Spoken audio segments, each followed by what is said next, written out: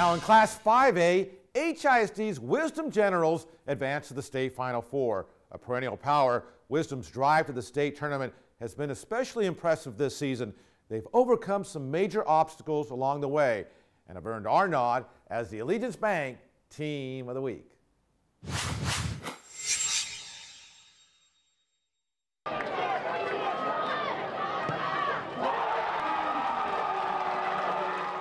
It was just four years ago that the Lee Generals became the first HISD school in history to advance to the UIL State Soccer Tournament. Four years later, the name has changed. Lee is now Wisdom High, but the results are similar as the Generals earned a return trip to the state Final Four. But this team has had a lot of ups and downs, and uh, you know, there's so many things I can tell you about it, but these kids are very resilient and uh, very persistent. So they they've stepped up because they want it. They got a lot of heart. Um, and you know, I tell my kids, hey, you keep fighting, and, and you're gonna do better than previous teams in the past. This is very special for us. Um, it's something that we have been working for for since since November. We're very happy, very excited, and hopefully uh, things go our way. It was very special, you know. It was something that we had in us, and decided to show to other people what we're capable of. More than just capable, extremely talented as well. Very talented, and I think that's what just makes it even more special. You know, when you accumulate all these things with skills, talent, um, never give up, and, and a good heart.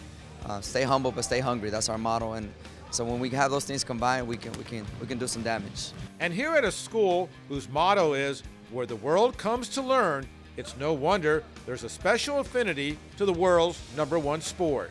Yeah, man, we're diverse. You know, um, 82 different nationalities.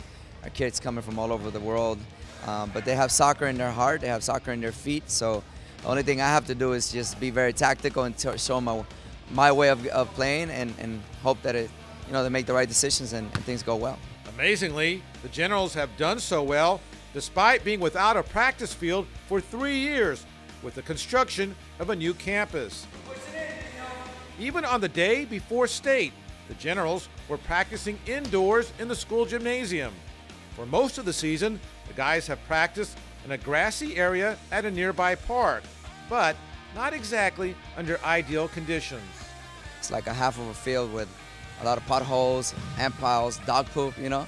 But uh, we make the best out of it, man. Uh, sometimes it's completely filled with water because of the rain, but uh, we take advantage of what we can. I mean, we, we put two cones and we make a goal with no net, and we just imagine things. You know, um, I tell my kids, you know, we, are not supposed to be here, um, but because you, you, you persevere and, and you're very resilient, you know, you're here, you know, and because you've shown a lot of heart.